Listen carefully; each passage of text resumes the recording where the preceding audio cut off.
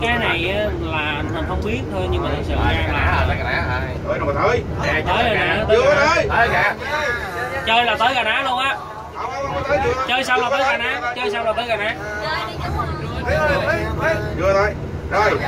Thứ nhất là thứ nhất là là là là là là.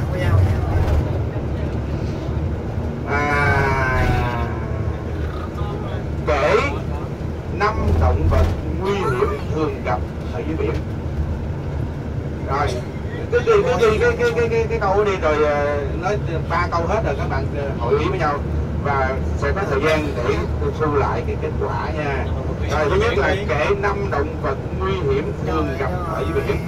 Thứ hai là kể các loài cá có cùng tên động vật trên bờ.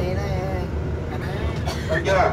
Kể các loài cá mà có cùng tên động vật trên bờ rồi thứ ba. Là kể các cái tên mà có liên quan tới biển mà có cái từ là có cái từ là hải. Chẳng hạn như hải mã. Hả? Ừ đúng rồi đúng rồi đúng rồi. Không không không cái, cái câu cuối á.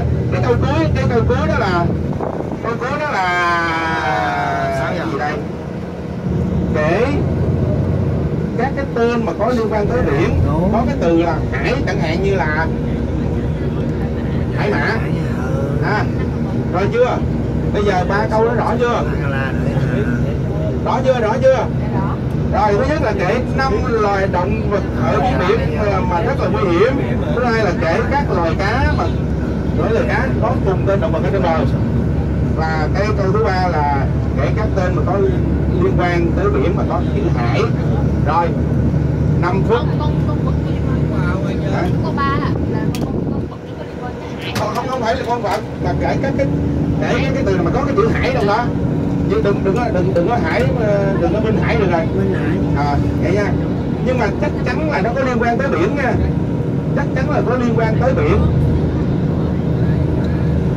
Chắc chắn là cái cái câu số 3 là phải có liên quan tới biển nha.